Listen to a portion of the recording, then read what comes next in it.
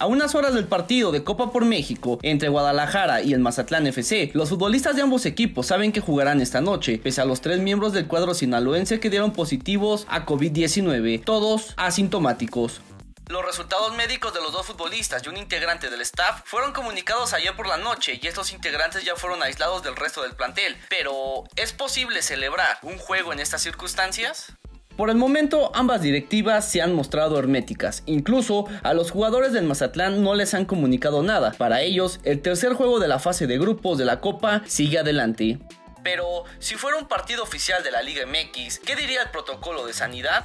No mucho, de hecho, el protocolo estrictamente no menciona la cancelación o aplazamiento de un partido si se confirman casos de COVID-19 en las últimas horas. El punto más cercano es señalado en el apartado día del partido, Tres horas antes del encuentro se realizará una reunión donde participarán obligatoriamente el director de seguridad del estadio, el oficial de sanidad y el comisario del partido. Expone el documento sobre los responsables de verificar que se cumplan los requisitos establecidos en cuanto a controles sanitarios, estado de salud de los asistentes al partido y laboral, además de llevar la relación de personal deportivo y staff técnico.